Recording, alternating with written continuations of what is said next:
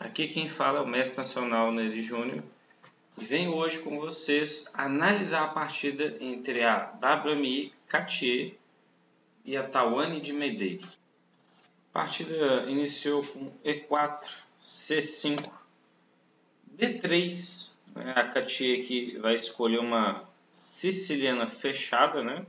Cavalo C6, F4, estrutura típica aí de uma siciliana fechada. G6, cavalo F3, Tawane D5, já procurando abrir o jogo, tirando aí o, o jogador que procura jogar uma siciliana fechada, tirando um pouco aí do, do conforto rapidamente. O objetivo de D5 é realizar uma possível troca e cair uma posição diferente que o jogador da fechada está aguardando, abrindo o jogo. Seguiu o bispo E2. A Katia está aceitando a proposta da Tawane. Bispo, bispo E2, D toma E4, D toma E4. Trocaram as damas, né? a Tawane capturou, bispo tomou.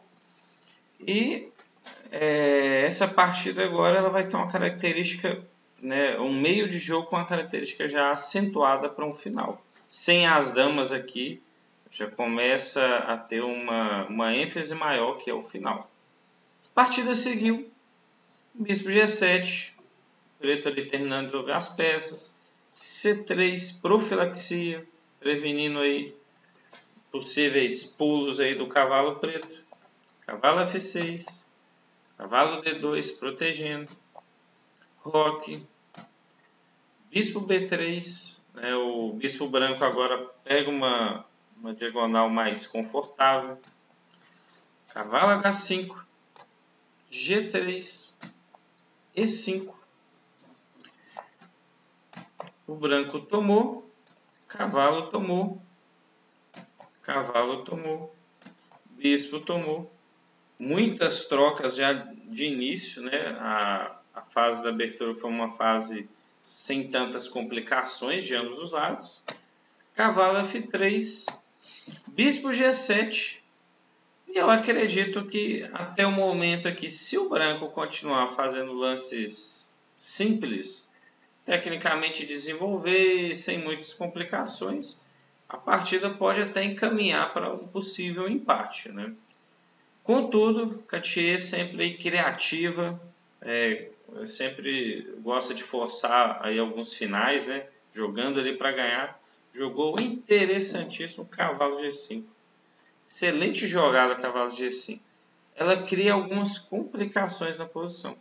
Uma posição que tudo indicava que o lance comum poderia seguir aí com o rock, um possível desenvolvimento do bispo ou mesmo rock grande, poderia seguir essas linhas mais simples, ela joga um lance complicador na posição. Cavalo G5 ameaçou aqui o contraditório cavalo por F7. A ideia do branco é cavalo por F7 seguido de torre F1, fazendo uma grande pressão no ponto F7.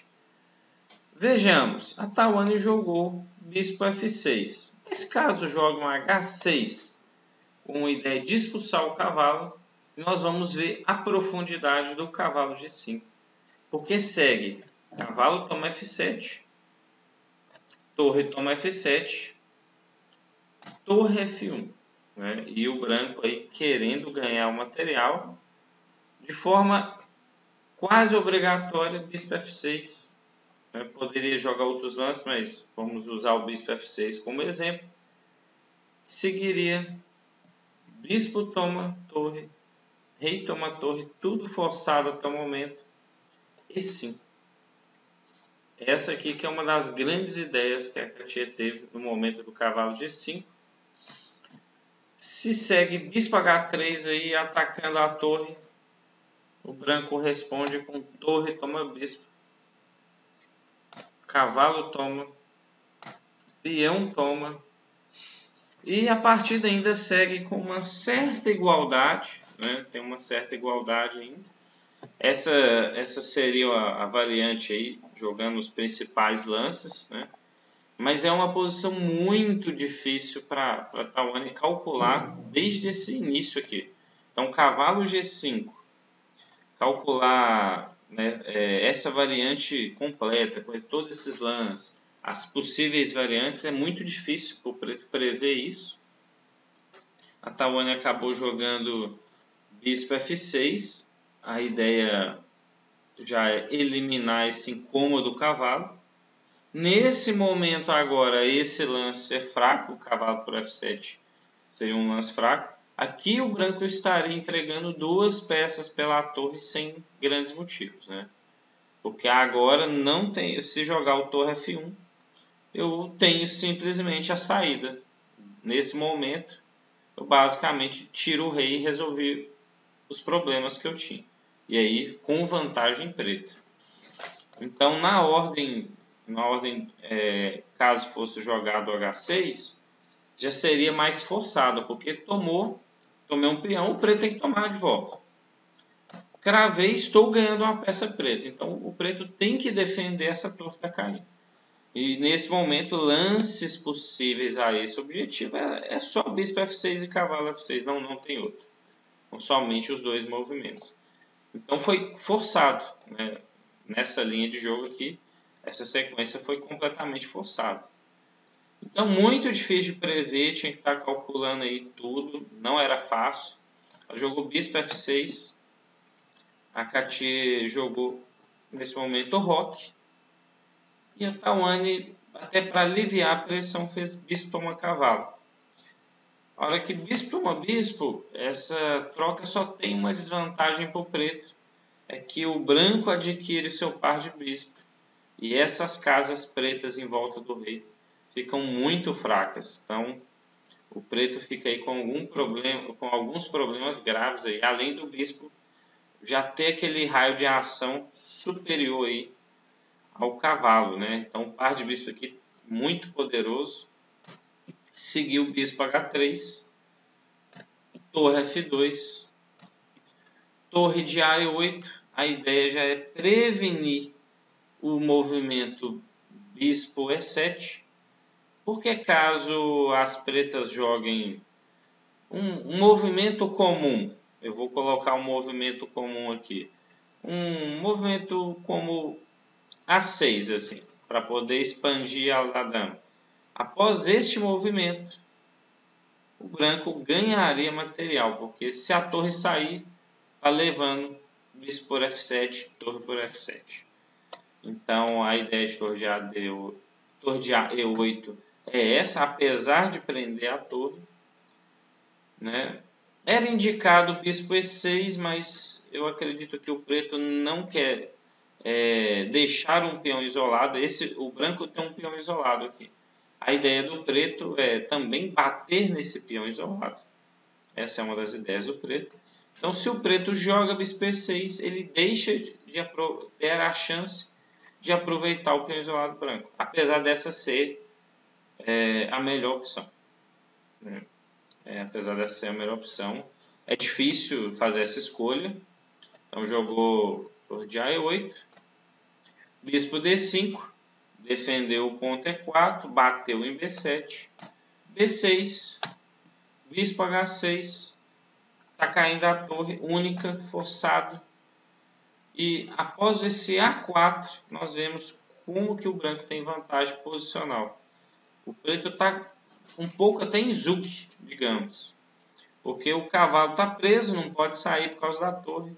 A torre de F8 está presa, porque também ela não pode sair por causa da torre de E. E se a torre de E sair, né, é, vai ser muito lento resolver os outros problemas ainda. É sempre devagar resolver todos esses problemas aqui. Então a posição preta ficou muito presa. Então A4 então, onde jogou C4, a ideia de C4 é quem sabe o branco toma para tomar em E4, um possível desvio. A tia não vai nesse atrativo, joga bispo F4, ameaçando um decisivo bispo D6. Seguiu o bispo E6, aquele lance que eu tinha comentado anteriormente. Bispo D6, bispo toma bispo, peão toma, cavalo F5, bispo toma torre. Torre toma e o branco tem qualidade de vantagem. Né? O branco conquistou a qualidade. Torre na coluna, intenção mais tarde invasão. Torre em D. Atacou o cavalo. Cavalo H6. Torre na sétima, né, de acordo com os manuais, vamos invadir a sétima. Torre tomou o peão. Torre tomou o peão de A. Né? O branco começa aí a limpá-la da dama. as pretas jogaram aí torre G5. Se jogar, pessoal, cavalo toma G4, que aparentemente já poderia ter sido feito, seguiria com torre entrando na sétima do branco. Aqui é muita vantagem branca, dificílimo segurar essa posição. Então, por isso que esse cavalo está se contentando em ficar em H6 por enquanto. Após torre G5, H3 segurou. Torre voltou para D5. Rei H2 para tirar de qualquer problema aí, né? Que o preto tenta invadir a, a primeira fileira. Rei G7. Torre na sétima. É, em C7. Batendo no ponto C. F8 Torre tomou. Rei E7. Torre agora na sexta ali batendo no outro ponto fraco. E aqui o preto abandonou.